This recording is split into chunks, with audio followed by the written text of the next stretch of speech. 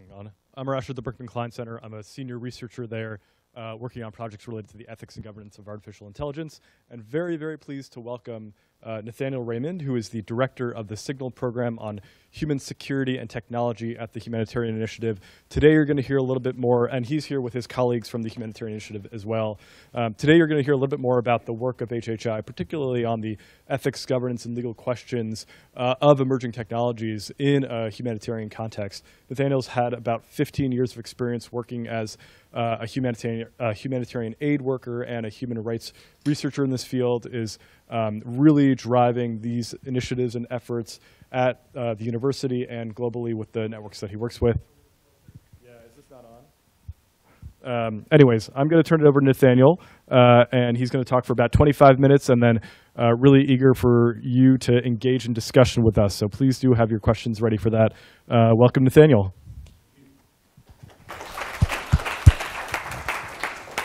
Uh, I just want to thank our colleagues at Berkman Klein uh, for putting this together. I want to thank you all for showing up.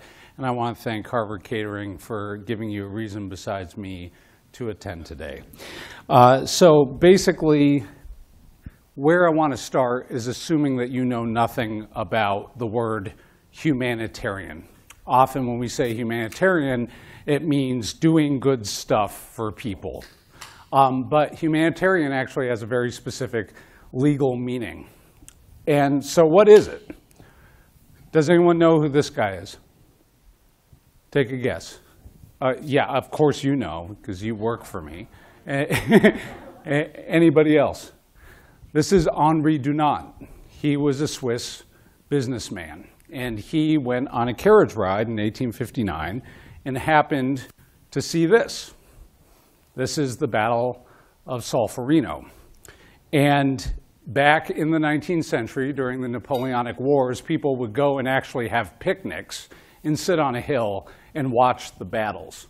And at the end of this particular battle, Henri Dunant alighted from his carriage and saw a landscape littered with dead and wounded soldiers. And he was so affected by the fact that there was no mechanism for caring for the dead and the wounded that he wrote a book called Memories of Solferino. Do you know what that caused to happen? Anybody? Yeah.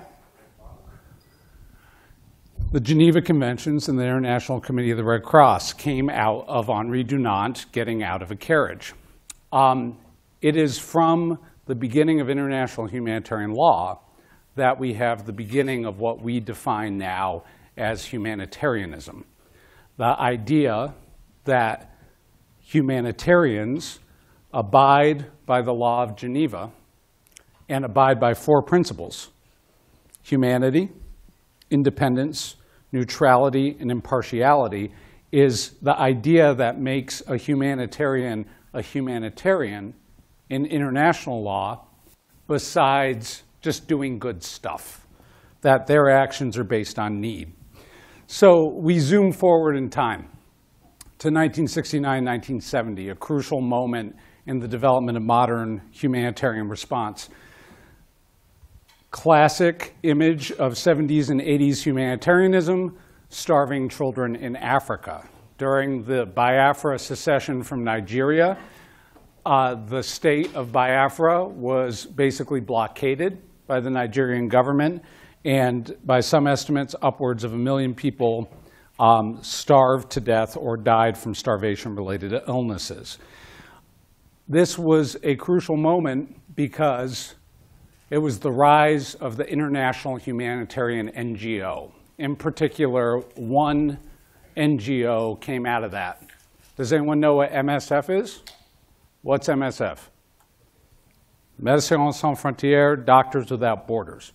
So as we move into the 70s, there is, in the context of conflict, an increasing role of non-governmental organizations playing a neutral, supposedly neutral humanitarian actor role to meet need when governments, when war prevents the delivery of assistance. Another critical moment, and unfortunately more pictures of starving children in Africa, They do know it's Christmas, but will they ever get there? A reference to what? I'm going to test for you youngins in the room your knowledge of 1980s pop culture. Yeah, Live Aid, uh, the We Are the World super famine of 1984 in Ethiopia. Out of the crisis in Biafra and the crisis in Ethiopia, you have the beginning not just of the emergence of the international NGO, but of something else technical and ethical standards for professional conduct. One of our big ones coming out of the famines of the 80s is about how we use imagery or don't use imagery of starving people, in particular the bloated bellied children of Ethiopia and Biafra. But something else was happening, which is the beginning of a realization in the field, particularly around the feeding operations in Ethiopia, that assistance delivery wasn't enough, that there was fundamentally a human rights issue and a tension between the responsibility of humanitarians to provide assistance, but also to protect a population. And sometimes what you had to do to get humanitarian access, and as someone who operated in Ethiopia, this is still a problem today, that you have to make certain compromises on advocacy and protection to access a population to give assistance. This all comes to a head very quickly in this 1994. So, if there was a big bang moment after Henri Dunant, this is one of the other big bangs. You've got World War II and the modern Third Geneva Convention. But following that, it's Goma. Rwanda genocide happens. Génocidaires, people engaged in the genocide, and civilians run into neighboring countries, including Democratic Republic of Congo. All the NGOs come in to assist. There's no coordination. There's no minimum technical standard for water provision in particular. So you have some people setting up their water operations where the TV cameras are in one village, but over here in another camp, there's nobody. So cholera breaks out and spreads like wildfire. This was a catastrophe. And in many ways, it was a catastrophe related to two problems. One, we didn't have coordination, and we had a lot of people who didn't know what they were doing, just doing stuff to get donations. The other thing that happened is that we had people coming in and rearming on the DRC side and then going on back into Rwanda to kill. And so out of that, we get two critical things. The sphere standards, which are minimum technical standards for the provision of humanitarian aid, all the way to how far apart you got to put tents to have a fire break in case there's a cooking fire, to this thing, the Humanitarian Charter, which articulates the beginning of what we call the rights-based approach, or the RBA.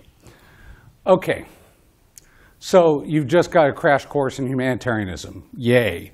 You know everything there is to know in five to 10 minutes about the history of humanitarianism. Let's ignore that for a moment and talk about, okay, that's how we got here. Where are we now? Now we are in another crucial moment, a moment that I often call the digital Goma. Thinking about the Goma crisis, we are now in an equal crisis in terms of rights and in terms of minimum technical standards. But this time, it's about data and it's about ICTs, inform information communication technologies. And before I launch into part two of this talk, I just want to say everything I'm about to say to you even if you don't do anything ever again with humanitarian response, will be relevant in any other issue you look at related to data, ICT, and law. So bear that in mind. It's going to have relevance even if you never think about Syria.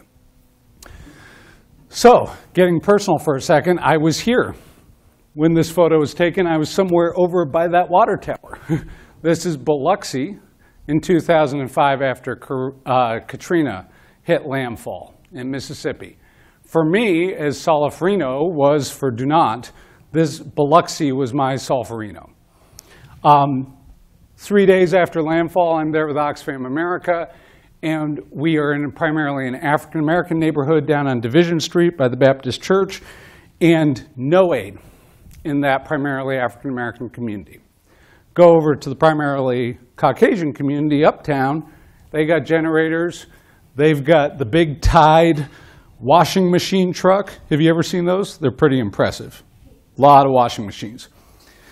But they also had something else. What do you think they had that the African American community didn't? Cell phones. And what we began to realize in that response is that we were seeing digital invisibility. That the assessment for that response was only as good as the networked connectivity of the population, and that there was a racial and economic disparity in terms of how federal and state authorities were seeing that population based on whether or not they had barriers to their connectivity. For me, everything I've done in my life since then was really related to that moment. That was the Big Bang, where suddenly we were seeing invisible populations affected by digital modalities and hyper-bright populations. That's only gotten worse. And it's only gotten worse to the point where now our use of ICTs and data are causing what we call secondary big data disasters. The solutions that were supposed to, from a responder-centric perspective, make things better have in many ways actually potentially made it worse. This, another Big Bang moment. 2007, 2008, Kenya election. Ushahidi, which means witness. Ushahidi is deployed, one of the first crisis mapping crowdsourcing platforms. And so as we had the rise of the NGO in Biafra, now we have the rise of the VTO, the Voluntary Technical Organization. You can hop on your laptop and save a life, blah, blah, blah. The fact of the matter is, is that buried in this innovation is a broader crisis. In the 20th century, our ethics as it relates to personally identifiable information, PII, so HIPAA, right? Everything you know about protection of personal data comes out of the PII tradition. But now, going back to this map, this isn't an individual, right? These are incidents. This is now DII, demographically identifiable information. And you can abide by law and regulation and duty of care on liability on PII and still kill people with DII data, sometimes even more effectively and faster through negligence, and not violate any of the extant ethics. As we think about artificial intelligence, as we think about big data, DII is the fuel in the tank of the 21st century as it relates to AI, as it relates to social media. So how do we retrofit, as humanitarians, our conception of ethics and law that was built around hiding the registration number, hiding the name, when now it's about are we targeting whole populations?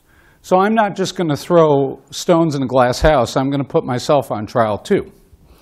In 2010, my colleagues and I came to the Harvard Humanitarian Initiative to do this. And you're like, what's that, a Jackson Pollock painting? No, this is a burned village of Maker Abior in the contested Abyei region between Sudan and South Sudan. This was arson, allegedly. How did we know that? Can anyone tell me? Those dark spots are burned houses called tukuls. How do we know it was arson? Because the ground between the houses is not burned. We call that selection, suggesting intentionality, unlike a wildfire. So we monitored with money from George Clooney and much of the cast of Ocean's Eleven, I kid you not, Don Cheadle, Matt Damon, Brad Pitt, most interesting funder I'm ever going to have. Um, take that, Ford Foundation. Um, anyhow, the, we used high resolution satellite imagery analysis combined with ground reports to detect and document threats to civilians in near real time. What we were doing was we were in search of a magical holy grail. That, my colleague Kristin Sandvik, a Harvard Law School graduate, and I in a recent article called The Ambient Protective Effect. The idea that the collection and release of data would, in four potential ways, change the calculus of events in a conflict situation, that we would smile, you're on candid camera. We would interdict the perpetrator response by making, deterring them from attacking based on a perception of liability. Second is we would provide civilians with early warning information to cause them to make better, faster, safer decisions. Third, we would, we would pressure governments by putting information that otherwise would not be available to the public through satellite imagery out there, shaming them. And fourth, we would motivate public pressure for governments to act. Now, the ambient protective effect may exist, it may not. Scientifically, at this point, based on the limited data we have, I can say to date, there is actually no evidence that an ambient protective effect exists in the case of deployment of information in conflict to somehow put a ring of fire around a population. In fact, what we are seeing in cases such as Ebola, in cases such as satellite deployment in Darfur, we are seeing the beginning of qualitative and quantitative evidence that we may be mutating these complex, dangerous environments in ways we don't understand. So that's why we did something radical. We stopped. We didn't know what we were doing. Not in terms of satellites, not in terms of, quote, humanitarianism, but we didn't know some fundamental things about law, about rights, and about technical standards and our duty of care responsibility. So, I love this image. I could show you this image all day, and I'm being respectful of time here. This is a family that has gotten out of the Mediterranean, fleeing Syria. It is a boy with a tablet taking a picture of his family as a proof of life photo. If you want to know the world we live in right now, this is it. And it's being marked by the impact of digitally networked displaced populations and diasporas, fundamentally changing the nature of how emergencies unfold, how information is transmitted, and what information itself may be now. How many of you have used WhatsApp? Okay, the largest app sale in history, I believe $16 billion to Facebook, right? Get ready to have your mind, minds blown. the plurality of active daily users at that time of the sale were people running for their lives without a home. you had the largest refugee population since World War II helped capitalize the user base of one of the biggest app sales in history. That's where we live now. Uh, anyone know who these guys are? Anyone watch Netflix? These are the white helmets. They are humanitarian actors in Syria. It appears they're being targeted by misinformation campaigns, including potentially botnets. So the question is, what does information in terms of Henri Dunant, right? what does humanitarian space mean now? Is there such a thing as humanitarian cyberspace?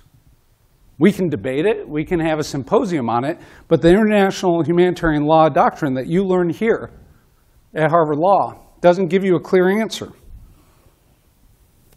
So now we hit into the home stretch. The radical work that we are doing at the Signal program is to suggest that information is now aid. In terms of the Universal Declaration of Human Rights, we often think about information as freedom of speech, as opinion. But what happens when it's not about Article 19, freedom of speech and opinion, but it's about Article 3, when it's about life, liberty, and security of person? These men are in Hungary. They're Syrian men. They're looking to get into Western Europe. They're using phones to try to find their way. They're engaged in information networks with other displaced people. We are studying how this is happening. We call it teledemography.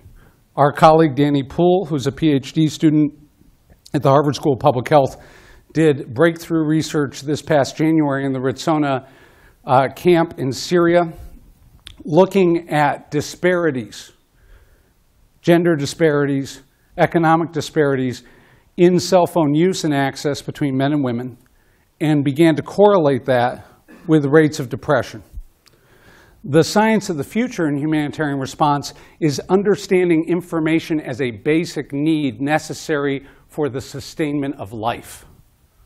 Freak out. Okay, because that fundamentally is changing how we think about the UDHR, how we think about Geneva, how we think about information no longer as expression, but as survival.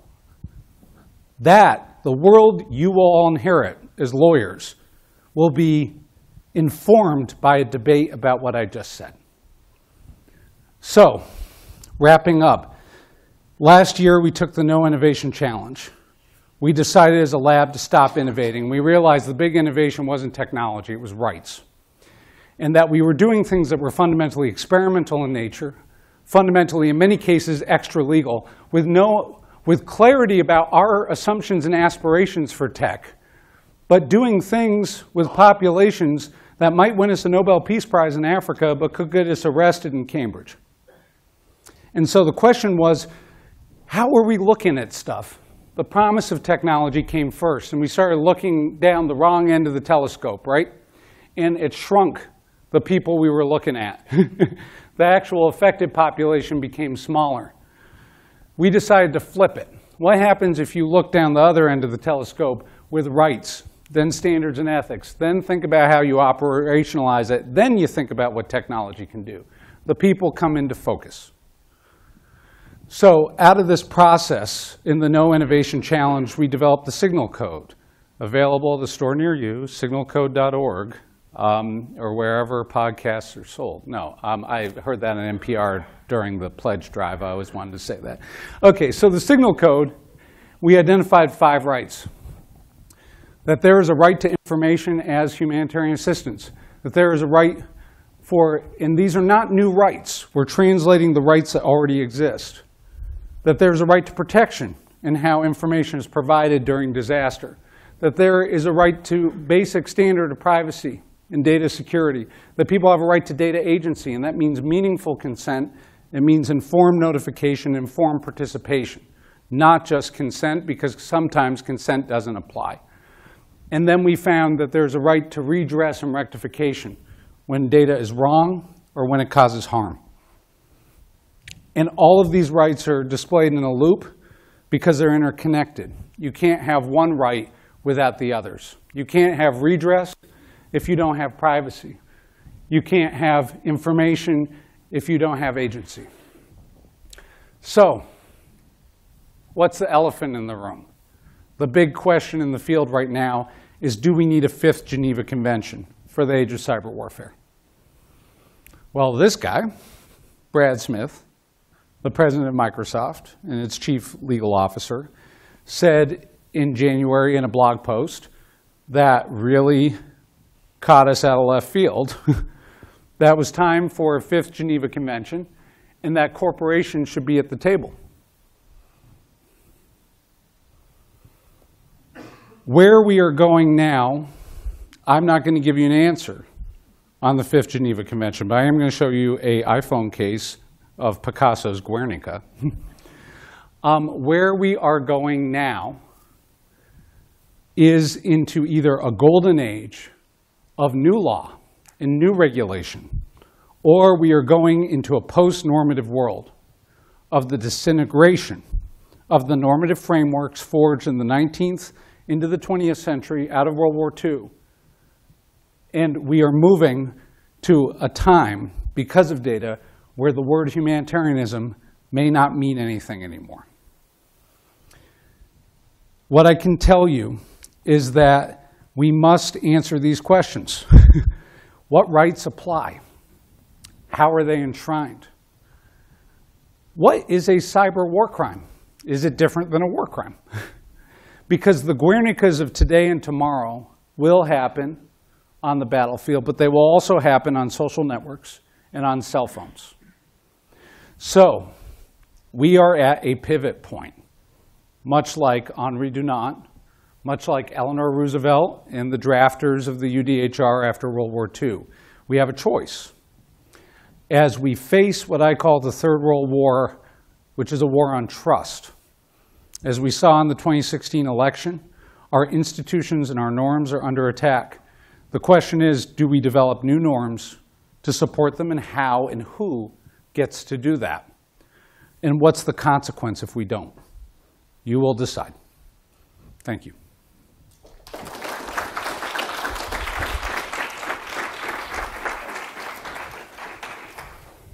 think we do want to make this interactive, so if you just shoot up your hand, we can get a mic. When you put up the, the picture of Biloxi, you said the problem was differential access to you know, ICT services, so that basically the, this, the population that didn't have the cell phone access at the time wasn't being served because nobody knew they were there. Uh, then you put up the map of Kenya, and you said there was a similar issue that was re- that resulted from that observatory project, but I didn't quite understand how. Was that again a, a matter of basically that the attention was going where the ICT was, and places that didn't have the ICT were not getting attention, so the so the observatory's work wasn't wasn't doing what it wanted to do? That's a very good question. I didn't make that as clear as I should. Um, I put up Ushahidi as trying to express the past 10 years of practice by voluntary technical organizations and crowdsource mapping in one slide, which is never advised. Um, the importance of the Ushahidi slide is that was like Chuck Yeager breaking the sound barrier in the Bell X1. Um, that was the Chuck Yeager moment for crisis mapping. And for good and for bad, it set off the idea that somehow the challenge for humanitarians was how do we connect to the information ecosystem of the affected population, and that that was inherently a positive, that we were not exposing them to um, new threats, we were mitigating old ones.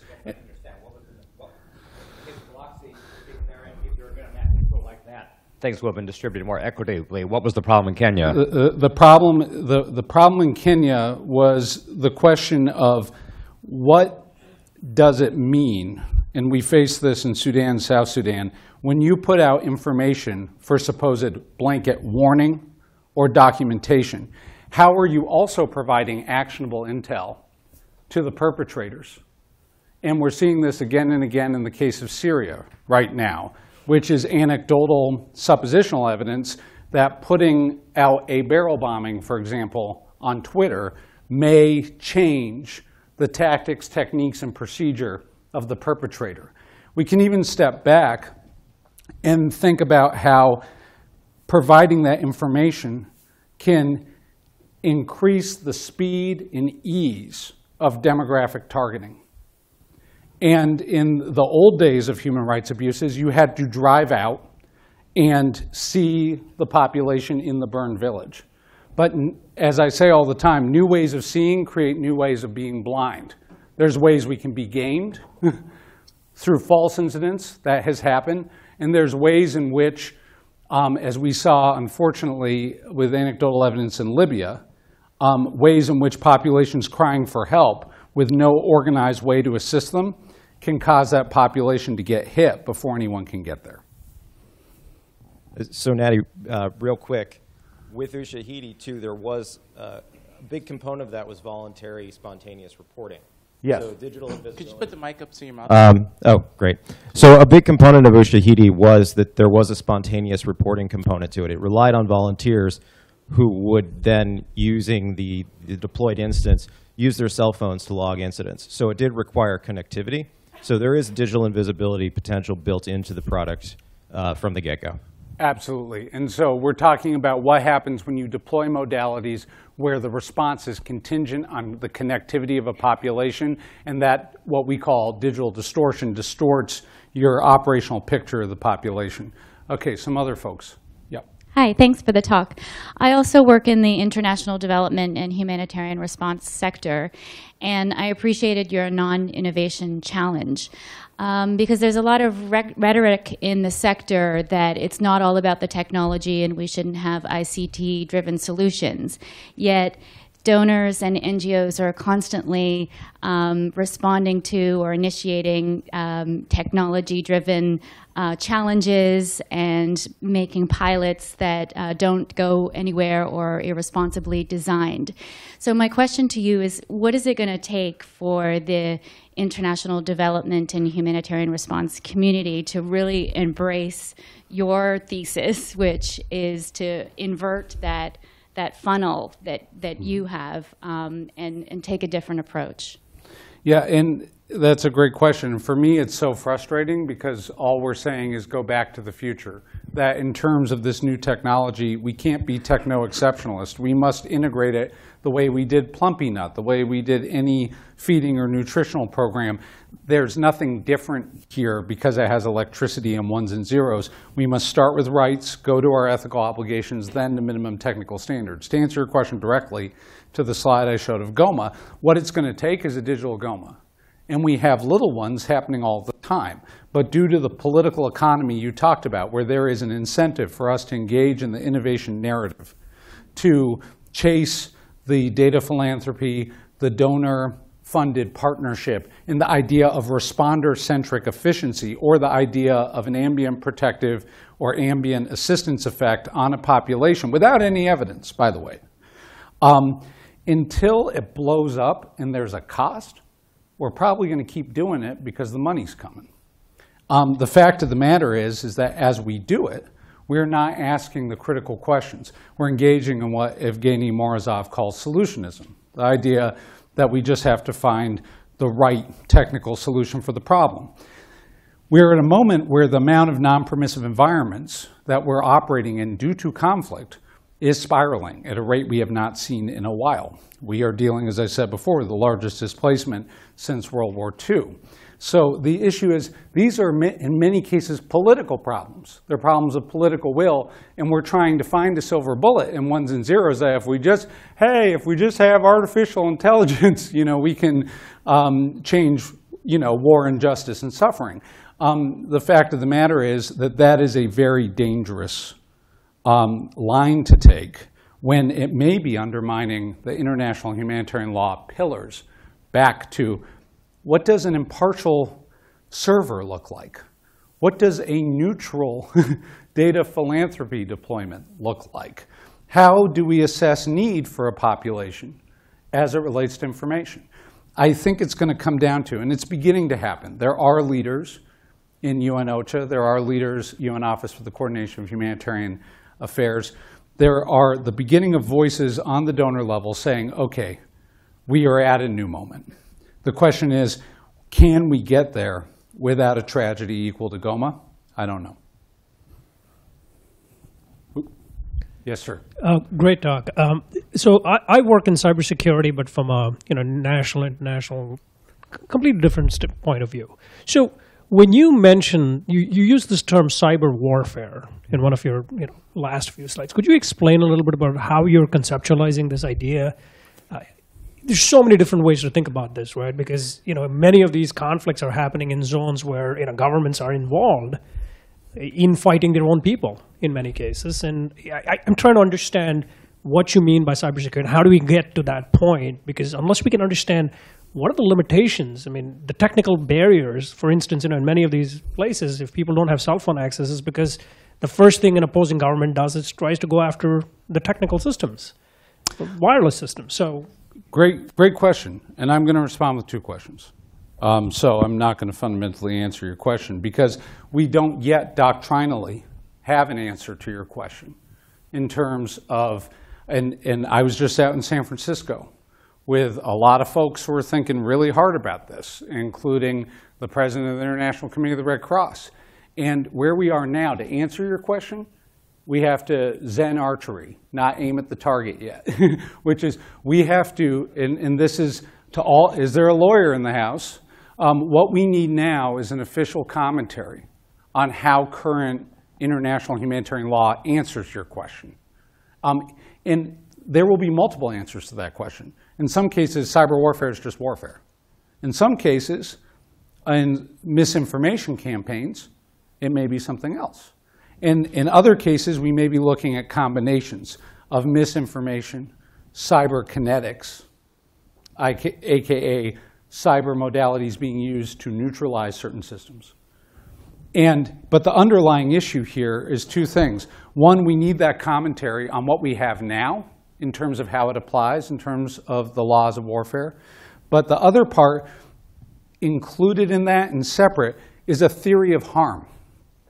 And so we say over and over again that we don't yet have a theory of harm about what these technologies do in certain environments to certain populations to the point where we can fully articulate the legal duty of care. So the trick is commentary on current IHL combined with research to show evidence on current theory of harm to inform that interpretation through the commentary. I, not the most exciting answer, but the, the issue is, is all the time I have cybersecurity folks saying, hey, just tell me, we can pop in, we can do it. And the issue is, to begin with, we need to answer some core questions. What is protected infrastructure? Especially when we have the same cell grid for a hospital, maybe the same cell grid for anti-aircraft. Those are the types of issues we have to figure out. Next question. Oh, I've answered all the questions in the world. Yes. Hi, thank you for the talk. Is this working? Um, I was wondering when you were showing the lenses and when you flip the lenses and start with rights, um, what's your take on the cultural approach to those rights and different perspective, perspective on those cultural approaches to those rights? And my second question was about the speed of creating these policies and reaching consensus, considering that technology is changing so fast. So I feel like we're always like race against time. Um, thank you. Both great questions. Um, fundamentally, and we can engage in a larger critique of humanitarianism, it is rooted in a rights-based approach that's fundamentally a Western normative framework stemming from the UDHR and Western traditions, including the Geneva Conventions. So that, that exists, that's a fact. Um, the question here is really um, as we begin to think about the next generation of digital and data age related rights. It's really not just a question of what are the rights, but what is the table by which who is going to be allowed to gather around? And I quote him all the time, and I'll quote him again now. Frederick Douglass said, Power concedes nothing without demand. We have the beginning now in a, a very interesting moment where from places in Syria, back to the WhatsApp example, from Syria to the 2016 election, from the Rohingya to um, Harvey, Irma in Texas and Florida, we have people being affected by issues of the absence of moment-specific regulation and legal interpretation as it relates to data equity, as it relates to digital rights. And so on one hand, we have a high potentiality for a movement popping up in a bunch of different places to catalyze into a larger global demand for this type of regulation. On the other hand, it's happening in many balkanized ways. And the question is, who and to what degree should catalyze that? I am just an academic. But the, the underlying question here about the speed, um, the speed of technological change, I think we often get lost in that mirage. Um, the more we study at the Signal Program on Human Security and Technology the rights issues, we realize that don't, don't get lost by the magician's magic trick. I find technology increasingly boring. And what I mean by that is that we're looking at, yes, constant disruption, to the point where disruption, the, the, the absence of normal is the normal, right? Based on the speed of innovation. But there's another theory I would lay on the table, which is we can choose to get caught in the maelstrom of disruption. There's another choice in what we call absorption.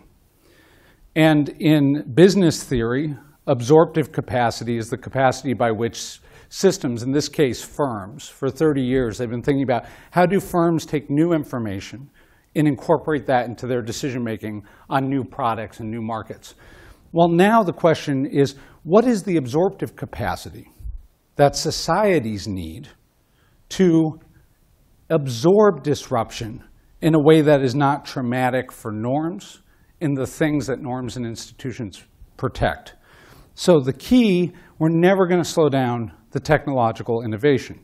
That's not the point. The point is beginning to get a science and a theory of the absorptive capacity required by societies, not just firms, by societies to begin to absorb disruption in a normative way. If we don't, the disruption will put us in a reactive posture forever. And at the expense of that will be our normative frameworks. Last question. Gentleman in the back. Thank you so much for this presentation. I'm just curious uh, because um, challenges in the situation in Puerto Rico that uh, created any new technology or anything like that. And you know the challenges. You're talking about people in the mountains with no electricity, no towers or anything like that, and no connection, road-wise and bridge-wise and things like that. So have we come up with anything that will help the situation out there? The, the best innovation I've seen in humanitarian response has come from the frontline national staff, um, has come from the people themselves. Um, in many cases, that is occurring separately from what's happening at HQ or at academic institutions. In terms of connectivity, in terms of being able to see and know and talk to populations in non-permissive environments, um, when I was in Pakistan, Tajikistan, I remember uh, in 2001 after 9/11, I literally I had a suitcase this big for our sat phone, and it was like a ten thousand um, deposit and carrying around, you know, what was like a tuba, and now um, I can have the same capacity here, and this capacity is um, rapidly becoming more and more available. Um, but I, I want to caution, uh, we have focused too much on that being the thing. So back to my point on teledemography. That is only as good as our ability to see the gaps. It's, and right now, we actually don't have very good science on how tech does and does not affect the humanitarian status of a population. So we're designing basically prescriptive intervention without a science for diagnosis. and so, in terms of, yes, we have lots of stuff. And the stuff is giving birth to more and more stuff, stuff upon stuff, turtles, turtles, all the way down. But we need to have a science so that we're not a slave to the stuff, but we have an organizing theory by which we triage what stuff to design. Man in the turtleneck in the back. Sure, and I'm just going to add to that that, that there's also uh, perhaps an, an irony in that, at least anecdotally, we're hearing one of the best technologies is about 100 years old in ham radio. Um, shortwave is is proving to be one of the better ways to connect with the islands when they get cut off. So the, yeah, the takeaway is everyone get your ham radio license today. Okay, we have we have a little more time. Um, if you have any more questions or comments. I have a question, Mike Runner's privilege over here. Yeah, please. Um, uh, and I guess the question is around transparency and trust.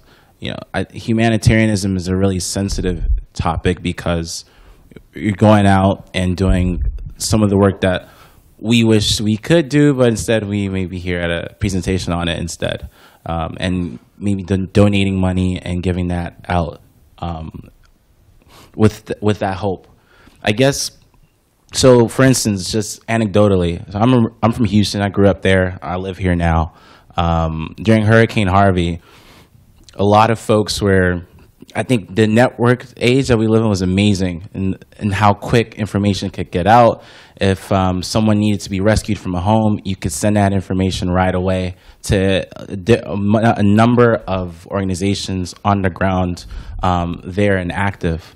Um, but there was a lot of skepticism around folks who wanted to give money to large organizations or to donate or support, like a Red Cross, for instance, because, well, I don't know how this money will actually get to folks on the ground. Um, and I'm seeing it more and more. I don't know how widespread this may be, but I was just curious about your take on transparency especially thinking about us moving into this information age or already being there and more and more information. How do we know how it's being used, or you know, what role do you think humanitarian uh, organizations have in making sure they remain transparent, and what does that look like with more and more technology? Great question, and go Astros, by the way. Thank you. Yeah. Um, so the this is a rare opportunity. I get to say two things. Academic research institutions have never been more important, and I'm not just tooting my own horn. Right now, the, the, the, the service we are providing through the creation of generalizable knowledge is a capacity that is not available in humanitarian organizations to develop the criteria by which the use of information by humanitarian organizations should be held to account and should be transparent. They're not going to develop that themselves. Um, it really comes to institutions like Harvard and our colleague institutions that are playing a participatory action research role that the accountability and transparency would be worse if we weren't engaged. But the second thing is that you here at Harvard Law have an incredible opportunity. I frankly think we need coders and hackers significantly less than we need lawyers. Um, we desperately need you all in this august institution and your colleagues to begin to articulate the problems and the gaps and where we live now. So back to accountability. Um, as it relates to, you had so much good stuff in your question. Uh, You had, uh, oh, you touched on another thing, and our colleague Faine Greenwood was just, who's here with us today, was just down in Harvey and Irma looking at the use of unmanned aerial systems, AKA drones. Um, we're looking at environments where traditional big organization response is now contending with the voluntary technical organization, but also spontaneous responses from community-based organizations. And that's always been part of humanitarianism, but now there is a, here's the disruption word, a disruption in the traditional humanitarian business model where those CBOs and those spontaneous responses, as we saw in places like Houston and elsewhere, can now reach audiences and engage donors in ways they couldn't before, and engage beneficiaries in communication in ways they couldn't before. There's good parts to that that challenge the big organizations to do better, to compete, and to partner. There's dangers because now we are entering an environment where increasingly, because of technology, the centrality of professional standards and ethics for that accountability has been degraded. And it's been degraded through this rapid explosion of some people engaged in humanitarian response who don't know anything about the principles, don't know anything about Geneva, et cetera. And you may say, great, that's disruptive. But the question is, how do we ensure equity in needs-based response? So it goes back to Biloxi. In the, the white community, I saw organizations everywhere. and they were there helping the churches. And that was great. But they weren't there helping based on the need of the whole population. So the real challenge to accountability is to keep aid needs-based, right? Because it's when we delink from that that we have gone to a very bad place. Well, thank you, and get the cookies while they're left. Great. Thank you so much. Nathaniel.